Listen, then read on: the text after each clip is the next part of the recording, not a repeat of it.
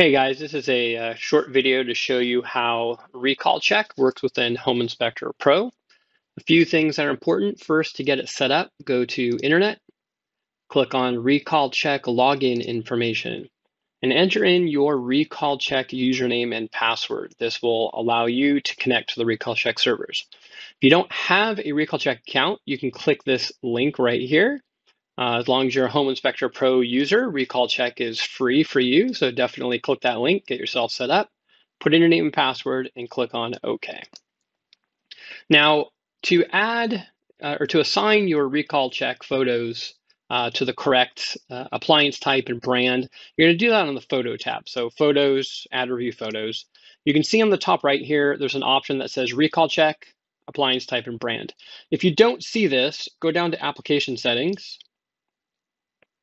and right here, you have enable RecallChek photo feature. So you can turn that on or off.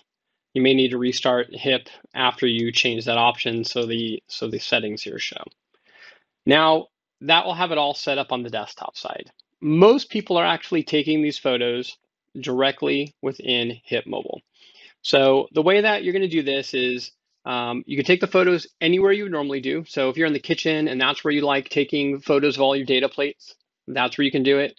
Uh, in this example, I took them in the miscellaneous section, which is the photo, the camera icon right here on the main list of sections. These are photos that won't show in the report, um, but they're still usable and they're still saved. So you might want to save it in a section of the report and you do have the photo assigned to print in the report, that's fine. Uh, in this example, I have them already set up. So I have three photos that I took here uh, directly in mobile. And there's really nothing else we need to do from the mobile side. We just need to take the photos. Now we're going to go ahead and I'm going to upload these photos directly up into HIP Desktop. So I'm going to select that RecallChek inspection. I'm going to upload that to the cloud. And then now back on the desktop, I'm going to log in and grab that inspection over here to mobile sync, download inspections, RecallChek. I have a large uh, monitor here, so it's actually expanded this out of the screen, but click on download to download that inspection. Just like normal, close that out. Now we're gonna open that inspection up.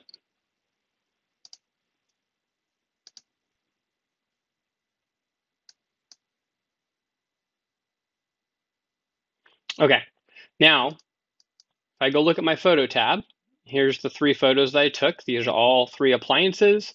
You notice the RecallChek area is now no longer grayed out. I can select the appliance type. So for this one right here, I'm going to go select uh, oven. Now this list of appliances comes directly from RecallChek. It's not something that we've coded in. Um, so once you've put type that in, now for some you'll have uh, appliance types put in there automatically. For others, just type in the, the model, or sorry, the brand. So I'm gonna come here. This is a refrigerator.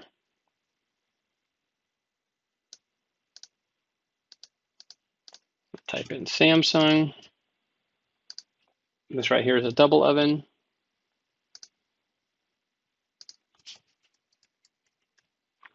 All right, so that's it. That's the only thing you need to do for each of these photos. Now we're going to go to report, uh, internet, RecallChek photo upload. You don't need the data collection. That's actually the old method where you would manually type in the serial number as well. Uh, for now, you actually only need to use this photo upload method. It'll automatically show all the photos that you took, and you're simply going to click on submit to RecallChek. Once you've done that, the, the RecallChek will be generated and sent out to your clients.